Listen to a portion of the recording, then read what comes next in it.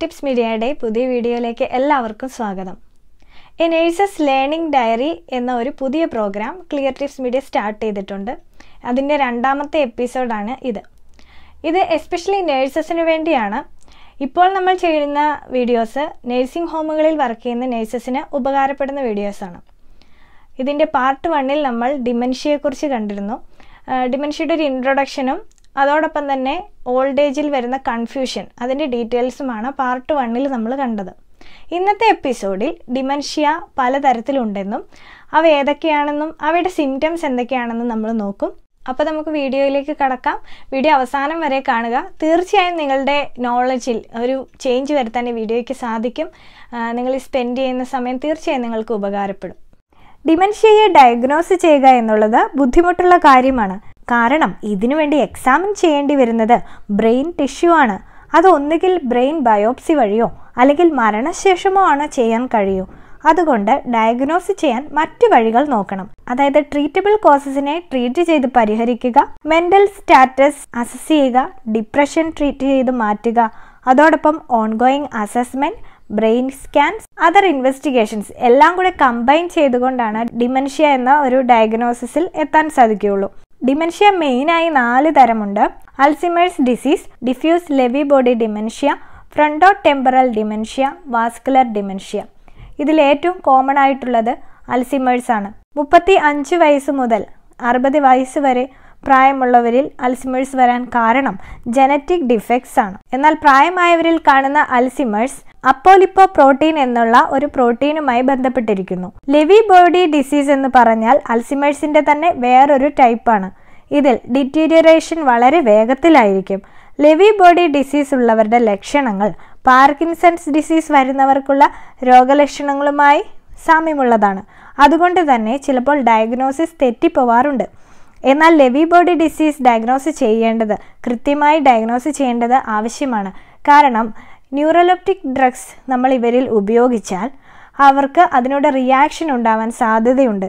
അതുകൊണ്ട് ഇവരുടെ ഡയഗ്നോസിസ് കൃത്യമായിരിക്കണം. Neuroleptics ഡ്രഗ്സിന് example olanzapine quetiapine risperidone aripiprazole ziprasidone എന്നിവയാണ്. ഇനി അടുത്ത ടൈപ്പ് മൾട്ടി ഇൻഫാക്ട് ഡിമെൻഷ്യ അഥവാ വാസ്കുലർ ഡിമെൻഷ്യ എന്നതാണ്. ഇത് ആർട്ടീരിയൽ ഡിസീസുമായി ബന്ധപ്പെട്ടിരിക്കുന്നു. മാത്രമല്ല ഇതിന്റെ ഓൺസെറ്റ് പെട്ടെന്നായിരിക്കും. വാസ്കുലർ ഡിമെൻഷ്യ ഉണ്ടാകാൻ കാരണം ബ്രെയിനിലെ ആർട്ടറീസിൽ സ്മോൾ ക്ലോട്ട്സ് ഉണ്ടായിട്ട് ബ്രെയിൻ ടിഷ്യൂസിലെ പല ഏരിയാസും ഡെത്തായി പോകുന്നു എന്നതാണ്. നമ്മൾ ബ്രെയിൻ സ്കാൻ ചെയ്ത് കഴിയുമ്പോൾ അത് വ്യക്തമായി കാണാൻ സാധിക്കും. അങ്ങനെ ഇത് ഡയഗ്നോസ് ചെയ്യാൻ എളുപ്പമാണ്. ജനിതകപരമായ കാര്യങ്ങൾ കൊണ്ടും വാസ്കുലാർ ഡിമെൻഷ്യ ഉണ്ടാകാം. കൂടാതെ Parkinson's disease Pick disease frontal dementia Huntington's chorea എന്നിവയും വാസ്കുലാർ ഡിമെൻഷ്യയ്ക്ക് കാരണമാവാം.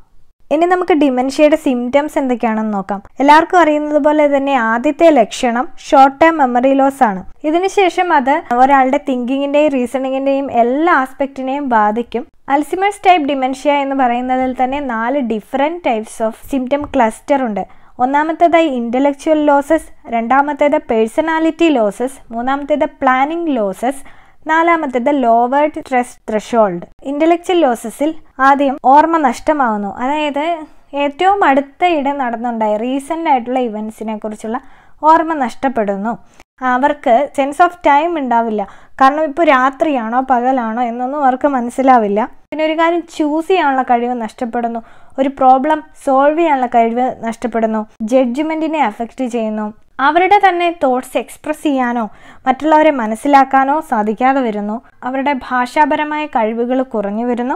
ഇൻഡിപെൻഡന്റ് ആയ ഒരു ജീവിതം തന്നെ അവർക്ക് അസാധ്യമായി മാറുന്നു. പിന്നെ മറ്റൊരു കാര്യം എന്ന് വെച്ചാൽ റെസിഡൻസിന് പലപ്പോഴും സ്വന്തം റൂം ഏതാണ് എന്ന് കണ്ടുപിടിക്കാൻ ബുദ്ധിമുട്ട് വരും. അതുകൊണ്ട് തന്നെ അവർ പലപ്പോഴും മറ്റ് റെസിഡൻസിന്റെ റൂമുകളിലേക്ക് കയറി ചെല്ലാൻ സാധ്യതയുണ്ട്. ചിലപ്പോൾ അവർ കിച്ചണിൽ പോയെന്ന് വരാം പൈപ്പ് തുറന്നിട്ട് അടയ്ക്കാതെ വന്നെന്ന് വരാം. അങ്ങനെ ഇന്റലക്ച്വൽ ആയിട്ടുള്ള ലോസ് സംഭവിക്കുന്നു. പിന്നെ അടുത്തതായിട്ട് പേഴ്സണാലിറ്റി ലോസസ് ആണ്. അവരുടെ വ്യക്തിത്വത്തിൽ എന്തൊക്കെയാണ് അവർക്ക് നഷ്ടമാവുന്നത്? അവരുടെ അറ്റൻഷൻ സ്പാൻ കുറഞ്ഞു വരുന്നു ശ്രദ്ധ കുറഞ്ഞു വരുന്നു അതുപോലെ ഇൻഹിബിഷൻസ് കുറയുന്നു. മറ്റുള്ളവരുടെ മുമ്പിൽ നിന്ന് പോലെ ഡ്രസ്സ് മാറാനായിട്ട് അവർക്ക് മടി ഉണ്ടാവില്ല.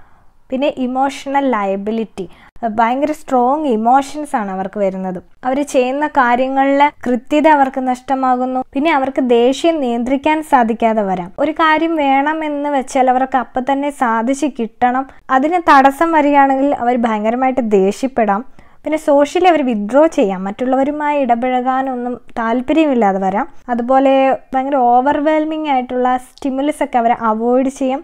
ചിലർക്ക് ആന്റി സോഷ്യൽ ബിഹേവിയേഴ്സ് കാണിക്കാം. പിന്നെ അവർ ചിലപ്പോൾ ഒരു കാര്യം നടന്നു എന്ന് പറഞ്ഞ് നമ്മളോട് എക്സ്പ്ലെയിൻ ചെയ്യാം. അത് ചിലപ്പോൾ നടക്കാത്തതായിരിക്കാം. എങ്കിലും അത് നടന്ന രീതിയിൽ അവർ വിശ്വസിക്കുകയും അങ്ങനെ തന്നെ എക്സ്പ്ലെയിൻ ചെയ്യുകയും ചെയ്യാം. പിന്നെ ചില ആക്ഷൻസും ചില ചിന്തകളും ഒക്കെ റിപ്പീറ്റ് ആയിട്ട് ചെയ്തുകൊണ്ടിരിക്കും. ഒരു ഒരു കാര്യം തന്നെ ചിലപ്പോൾ റിപ്പീറ്റ് ആയിട്ട് ചിന്തിച്ചുകൊണ്ടിരിക്കാം ഒരു കാര്യം തന്നെ റിപ്പീറ്റ് ആയിട്ട് ചെയ്തുകൊണ്ടിരിക്കാം. ഇതൊക്കെയാണ് അവരുടെ വ്യക്തിത്വത്തിൽ വരുന്ന ലോസസ് പിന്നെ പ്ലാനിങ് ലോസസ് എന്ന് പറഞ്ഞാൽ അവർക്ക് ഒരു ദിവസത്തെ കാര്യങ്ങൾ പ്ലാൻ ചെയ്യാനോ അത് ഓർഗനൈസ് ചെയ്ത് ചെയ്യാനോ ഉള്ള കഴിവുകളൊക്കെ നഷ്ടമാകുന്നു. ദൈനംദിന ആവശ്യങ്ങൾ പ്ലാൻ ചെയ്യാനുള്ള എബിലിറ്റി നഷ്ടമാകുന്നത് ഒരു ഓർഡറിലായിരിക്കും ആ ഓർഡർ എന്ന് പറഞ്ഞാൽ ആദ്യം ആദ്യം ഒരു ക്ഷീണമൊക്കെ ആയിരിക്കും. അവർക്ക് അവരുടെ എനർജി നഷ്ടപ്പെടുന്നത് പോലെ ആയിരിക്കും ഓരോ കാര്യങ്ങൾ ചെയ്യാനായിട്ട്. പിന്നീട് അവർ ഫ്രസ്ട്രേറ്റഡ് ആവാം.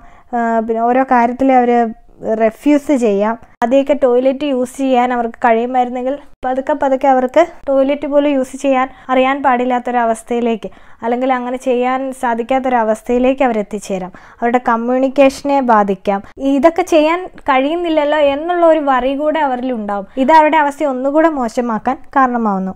പിന്നെ അടുത്തതായിട്ട് പ്രോഗ്രസീവ്ലി ലോവേർഡ് സ്ട്രെസ് ത്രഷോൾഡ് എന്ന് വെച്ചാൽ ഇവർക്ക് ഇവരുടെ ബിഹേവിയറിൽ പല മാറ്റങ്ങളും ഉണ്ടാവുകയാണ്. ഇവർ കൺഫ്യൂസ്ഡ് ആവാം അല്ലെങ്കിൽ അജിറ്റേറ്റഡ് ആവാം രാത്രിയിലൊക്കെ എഴുന്നേറ്റ് നടക്കാം അവർ അഗ്രസീവായി മറ്റുള്ളവരെ ഉപദ്രവിക്കാൻ ചെല്ലാം അതുപോലെ മറ്റുള്ളവരിൽ നിന്ന് വിഡ്രോ ചെയ്യാം. പിന്നെ ഒച്ച വെക്കുന്ന ഒരു സ്വഭാവം ഉണ്ടാവാം.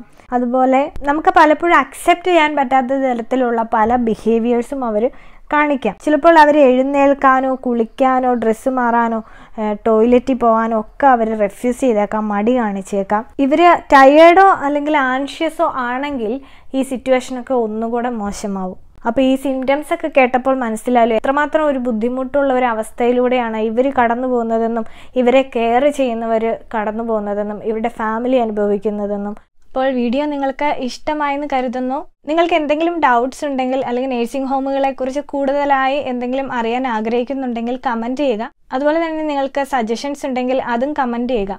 പിന്നെ നിങ്ങളുടെ ഫ്രണ്ട്സിനും റിലേറ്റീവ്സിനും ഇത് ഉപകാരപ്പെടുമെന്ന് നിങ്ങൾക്ക് തോന്നുന്ന എല്ലാവർക്കും ഒന്ന് ഷെയർ ചെയ്ത് കൊടുക്കാൻ ശ്രദ്ധിക്കുക.